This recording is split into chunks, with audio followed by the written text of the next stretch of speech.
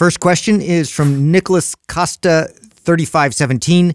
Does cardio kill muscle gains? Okay, we got to clear this up. we still get this, and I and I believe that a lot of the pro and anti cardio rhetoric that's, question. that's happening now um, in the fitness space is maybe kind of connected to how we talk about it. So first off, I want to be very clear. There's health benefits to any form of activity so long as it's applied appropriately. Now, depending on your goal, you can apply some forms of activity in ways that might be counter to your goal or in ways that will be pro your goal. So cardio can be either pro muscle gain or anti muscle gain. Here's where it can be pro muscle gain. Does it improve your health and does it improve your capacity to do resistance training? So let's say all you ever do is lift weights and you do heavy sets and low reps and that's how you like to train and your stamina is really preventing you from training in ways where you can increase your work capacity to give the kind of volume that maybe your body would need to propel you any further. In that sense, some cardio will help you. Mm -hmm. it, it, definitely will. It, doing some cardio improve your capacity, your work capacity can help you build more muscle. Now, how can it hurt when you're you're when you're sending competing signals? When I'm training for lots and lots of endurance and I'm training for lots and lots of strength and muscle. Well, now I'm going to get a little of both and not a lot of either.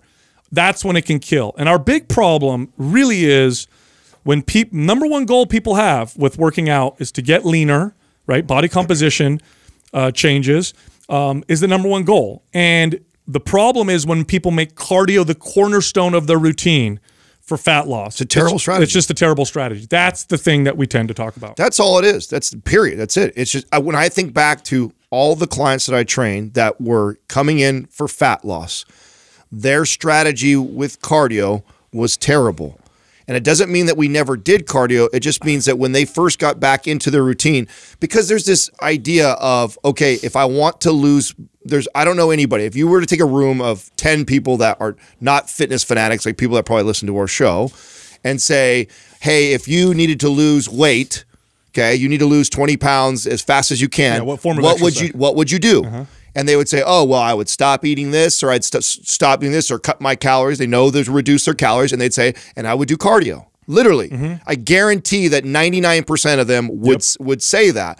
And the truth is, that is a terrible strategy for almost anybody who's getting started on their fat loss journey. I am not speaking to somebody who's consistent and been working out for 10 years and doesn't miss and is, hits their protein intake and has a healthy amount of calories they're consuming 2,500 to 3,000 a day and they're in a great place. And I'm saying, don't do cardio. No. That's, I'm not talking to that person. I'm talking to the majority of people that are coming in that are looking for fat loss starting off with cardio is a terrible yeah, strategy. And I'll take it even further. You take a group of people, and we can even make it a little bit more complex and say, here's three different or four different forms of exercise. Rank them in order in terms of which one's going to help you burn body fat the most. Lifting weights or resistance training, most people would rank at the bottom. The truth is, it's at the top. It speeds up your metabolism and it results in pure fat loss, not muscle loss, and it gives you better long term results. That's it.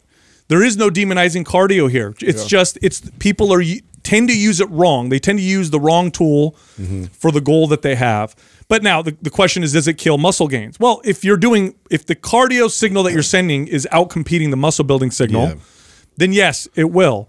But if you're doing car, if your number one goal is to build muscle, and you do cardio in a way to augment that, now how, what does that look like? For me, it looks like higher rep sets, supersets pushing the sled, maybe even some sprints here and there, that would help augment or accelerate or at least uh, amplify how my workouts are in terms of muscle building.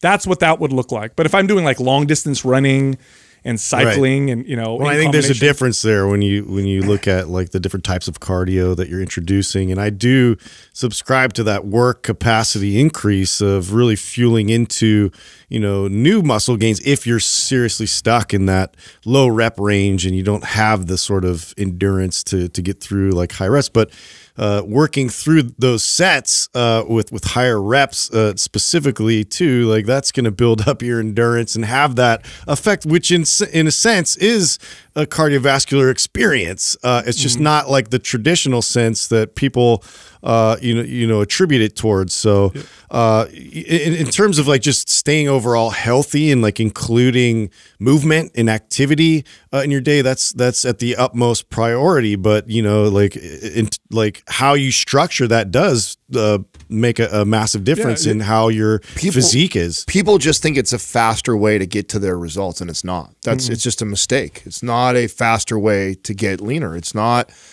it, it and especially if you don't have everything dialed in nutritionally. Like if you're not feeding the body adequate calories and macros that it needs and then in addition to that you're also pushing mm-hmm. excessively on cardio you're not going to build muscle. You're definitely not going to build muscle that way. And you're going to initially lose some fat, but eventually we'll hit a plateau and then you're in a really shitty place. Mm-hmm. You're super low calorie, you're moving like crazy, and your body's not changing anymore. Yeah. Now, to be clear, the perfect, and of course, this is different from person to person, but generally speaking, the perfect routine for overall health and wellness and quality of life has a strength building and muscle building component, a cardiovascular component, and a mobility flexibility component. Now, this isn't but also, of course, you want to have a spiritual component and you want to have good sleep and all that stuff. But in terms of working out, those three components would be part of a routine for overall health uh, and longevity. And that's just the bottom line. Now, there's different, there's individual variances, and